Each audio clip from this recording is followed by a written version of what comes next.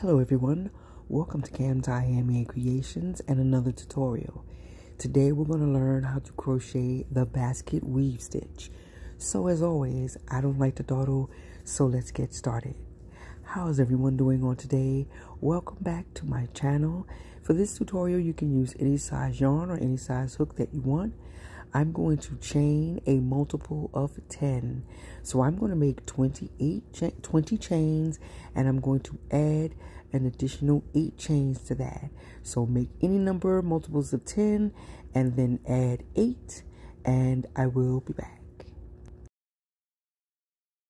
Okay, so now we have, I have my 28 chains. I am going to skip 3 and then in that fourth stitch, that fourth chain, I'm going to make a double crochet. I'm going to make a foundation row of double crochet. If you do not want to do that, you do not have to. It is not a requirement for this stitch. I just like to have some sort of foundation row, whether it's a single crochet or double crochet. So I'll be back. Okay, so now I'm back. I'm going to chain two. For my new subscribers, I only chain two for my double crochets. So now the chain counts as a double crochet. You're going to skip the first stitch and go right into your next stitch with a double crochet. So you're going to make four double crochets going across. Do not count that chain, even though it counts as a double crochet. It does not count here. Make four double crochets and then chain one. Do not skip any stitches. Go right into the next stitch and make another four double crochets going across. And that is this pattern for row two. Four double crochets chain one. Four double crochets. Do not skip any stitches except in the beginning when you make your double crochets because that chain that you make counts as a double crochet. So i'm going to continue with this pattern. Four double crochets chain one. Four double crochets and i'll meet you when i get closer to the end. Okay, so I'm back and I'm making my last few double crochets here. Make sure that you go into that final stitch, that last chain from the previous row, or rather the first chain from the previous row with a double crochet because it does count as a double crochet. So that is what your second row should look like. Now we're going to move on to row three. So go ahead and chain two and turn your work or chain three if you want to. Again, go ahead and skip that. Well, no, we're going to go into our pattern now. Sorry. So now we're going to make a front post double crochet. So you're going to skip that first double crochet because your chain counts as a double crochet and go right in. So the way you make a front post double crochet is you insert your hook in and come out the back side of that crochet, that double crochet, and make a double crochet. Now, if this is too fast for you, I do have a tutorial on how to front post and back post double crochet, and I will link that in this video. So you make your four front post double crochets going across. Chain one. And now we're going to make four back post double crochets. So go in the back way. And again, if I'm going too fast for you, go ahead and you can look at that front post and back post double crochet tutorial. So I'm going to make four back post double crochets here.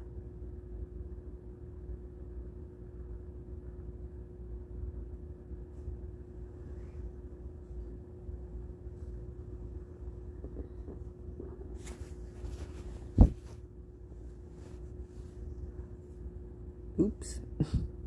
And then one more.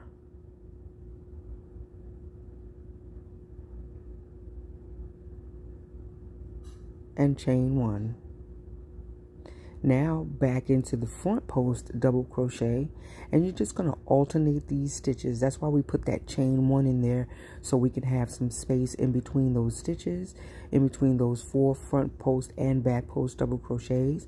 So make your front post double crochets here chain one do a back post double crochet and I will meet you when we get closer to the end. And for my new subscribers, I normally try to meet you at the end just in case there's a different step that we need to make at the end of the row. So I'll see you when I'm done. Okay, so now I am making my back post double crochets.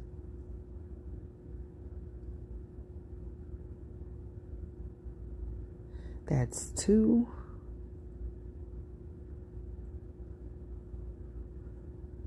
And if I am going too fast for you and I'm ahead of you, just go ahead and pause the video and meet me, you know, go ahead and start back over when you get to the end.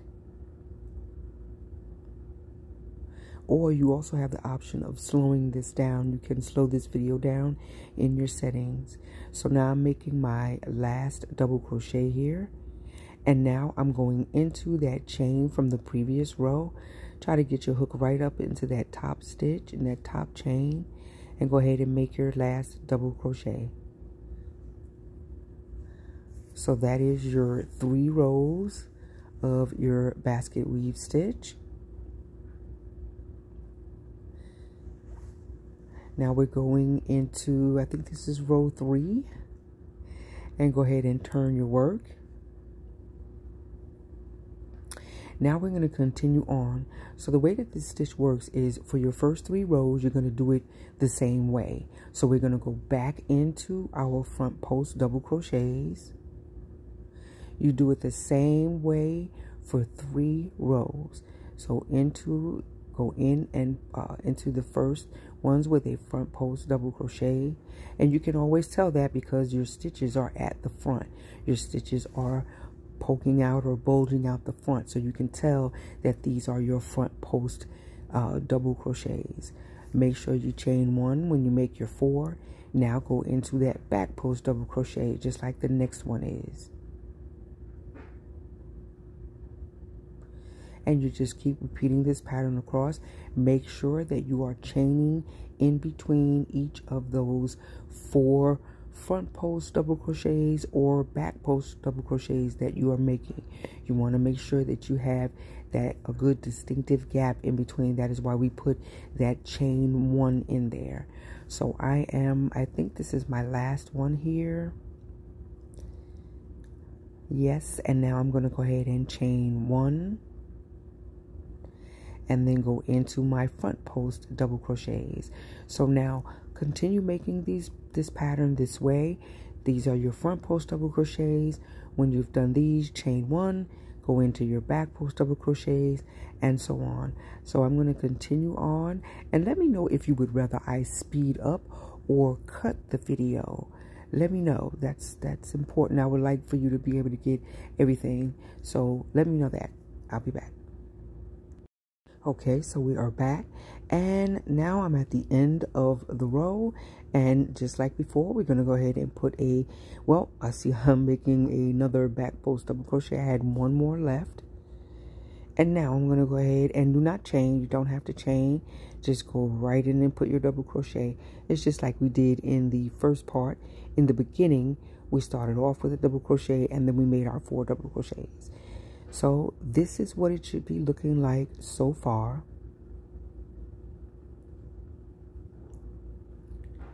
Now we're going to move on to the next row.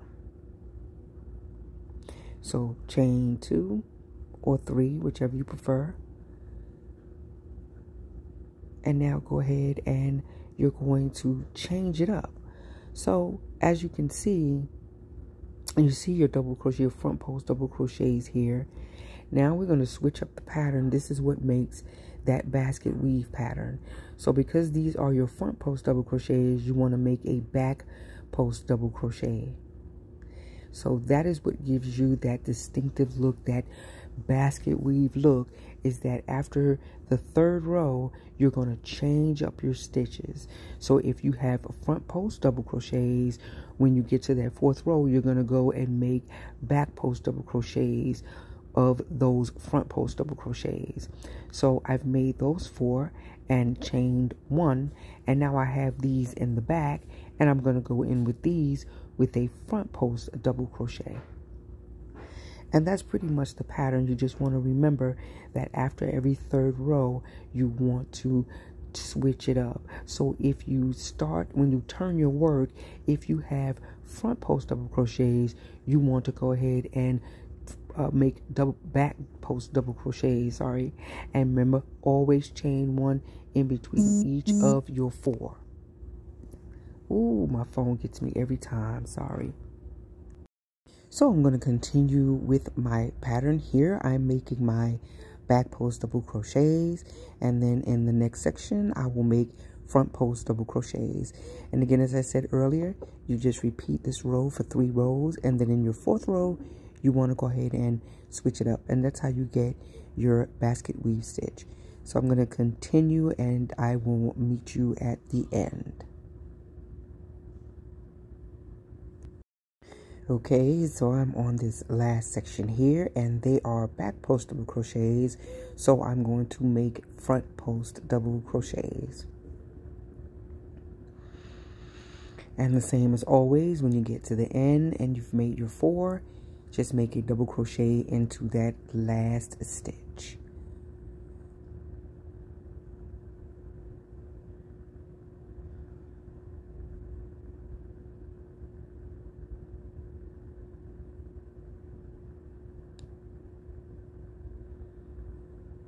okay in goes that double crochet and that's it so now you'll do two more rows of this same pattern and just keep repeating every third row, every fourth row, you will change up your pattern so that you can get that basket weave look pattern. Okay, so I just added a few more rows so you can get that full effect of what it should look like. And that's it for your basket weave stitch.